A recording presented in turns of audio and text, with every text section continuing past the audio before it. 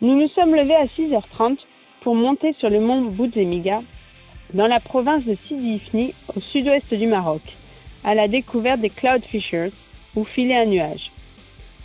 Après environ 1h30 de marche, en prenant le temps d'admirer bien sûr le paysage, nous atteignons le sommet du mont Bouzemiga, où sont installés les filets. On se trouve à environ 1225 mètres au-dessus du niveau de la mer. L'association marocaine Darsimhad a mis en place en 2018, avec l'aide de la fondation allemande Wasserstiftung, ces filets à nuages ou Cloud Fishers, après une longue période de collecte de données météorologiques et de tests. Les Cloud Fishers sont des dispositifs de collecte des gouttelettes d'eau de brouillard munis de filets à capteurs. Le projet brouillard compte 31 filets de 54 mètres carrés, ce qui donne une superficie d'environ 1700 mètres carrés, sachant que chaque mètre carré de filet permet de récupérer environ 22 litres d'eau par jour.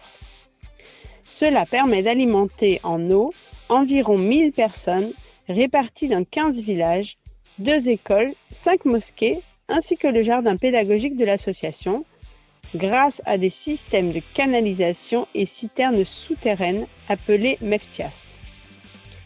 Afin de la minéraliser pour la rendre potable, l'eau de brouillard est mélangée avec de l'eau extraite d'un forage de 120 mètres de profondeur. L'association Darsimhad a pour ambition de développer ce système de collecte d'eau de brouillard et pour cela a installé des mini-filets de 1 mètre carré ainsi que des stations météorologiques sur d'autres montagnes de la région.